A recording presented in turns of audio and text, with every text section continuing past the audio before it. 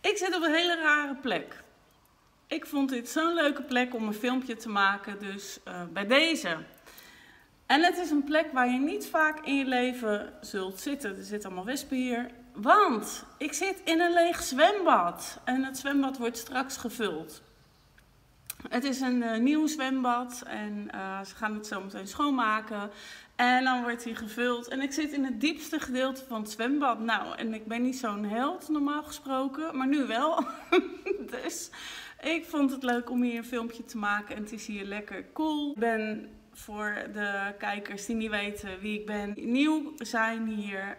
Hallo, welkom. Ik ben Maria en ik ben op vakantie. Dan maak ik altijd filmpjes van andere geuren.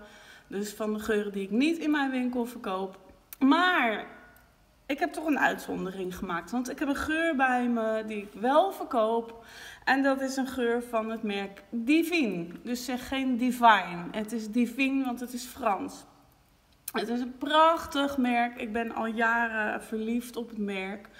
Dat is de reden dat ik het ook verkoop. Divine is uh, ooit gemaakt. Uh, het merk is tot stand gekomen in de badplaats Dinar, het is een romantische Franse badplaats. Daar komt het merk vandaan. Even een stukje over het merk. Dus Divine.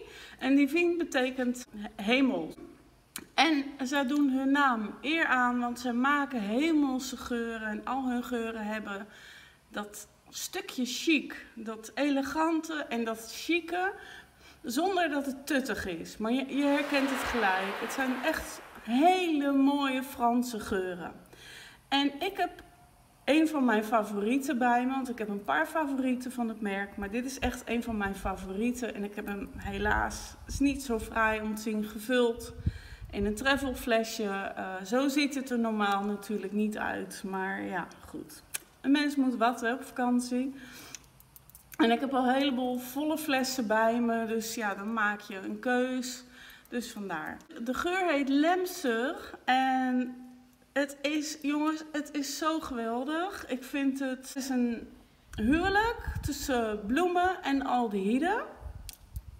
En dit is nou typisch een geur die je allemaal zou moeten testen.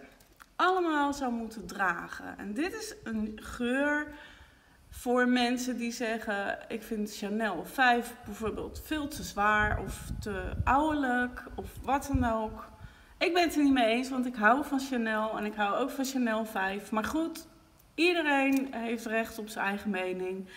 Dit is een beetje jongere geur. Dus een beetje Chanel 5, maar dan een soort jongere sfeer zit erin. Ik weet niet precies hoe ik het uit moet leggen. Ik ga hem op bewaaien doen. Dat vind ik leuk. Ik walm er al verschrikkelijk naar, want ik vind het zoiets heerlijks. Oké. Okay. Ehm, lemseur. Ja. Ik vind het... Ik zal trouwens eerst even vertellen wat er allemaal in zit. Niet, niet alles, maar voor een groot deel. Er zit Bulgaarse roos in. Er zit jasmijn in. Er zit ilang, ilang in uit de Comoren nadenken, wat zat er allemaal nog meer in. Ik weet dat de, dat gaat zich allemaal samensmelten met een beetje sensuele basis. Oh ja, ik weet het alweer. En in die basis zit ambergris. En dat zorgt altijd nou net voor dat stukje sensuele. Vetiver zit erin. En wat ik heel erg leuk vind, Liatrix zit erin. En Liatrix is een, als je het opzoekt op het internet, het is zo'n soort plant, een soort, ja, het is net een raket.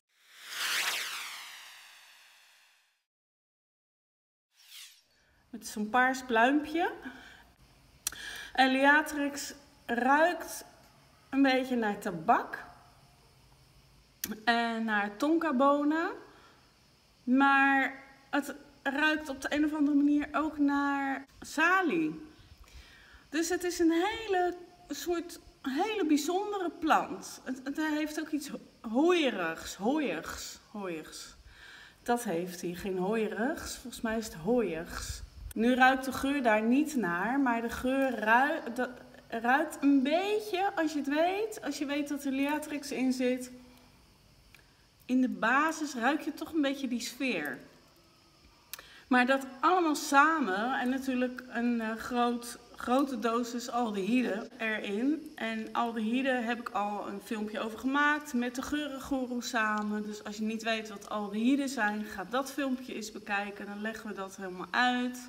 Het is speciaal gemaakt voor parfum.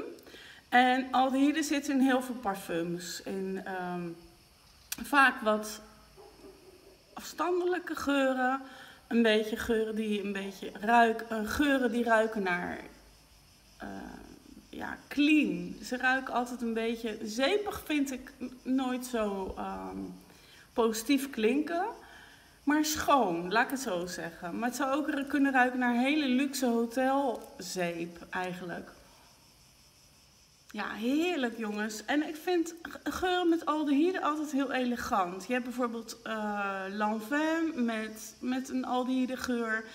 Uh, white Linen van Estée Lauder is een white linen, um, is een aldehyde geur, is een white linen geur. jongen, jongen, jongen. Chanel nummer 5, Au Première.